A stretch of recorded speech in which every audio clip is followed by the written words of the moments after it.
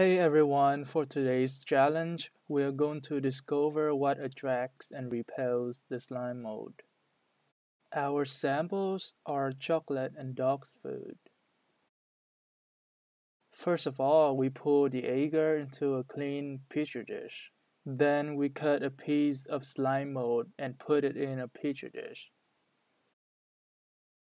Afterward, we place a piece of oat flake, a piece of chocolate, and a piece of dog food on three corners of the petri dish.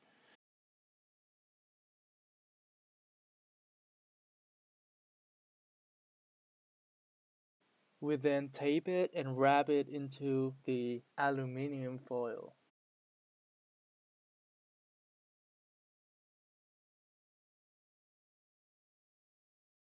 For this experiment, we hypothesized that the slime mold will move towards the oat flake, but let's see what it might prefer.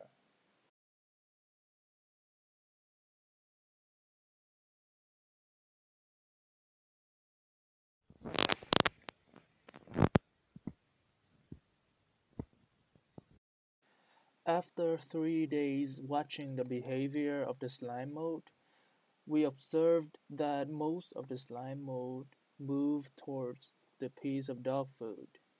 There were a little amount of mold moving towards the chocolate, but they stopped and changed direction. Interestingly, there's no sign showing the slime mold reaching the oat flakes, which